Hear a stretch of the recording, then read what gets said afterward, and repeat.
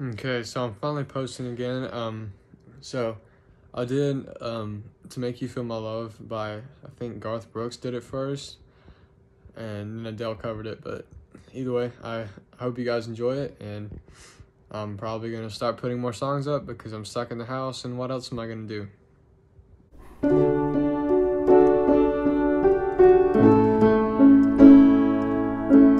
do?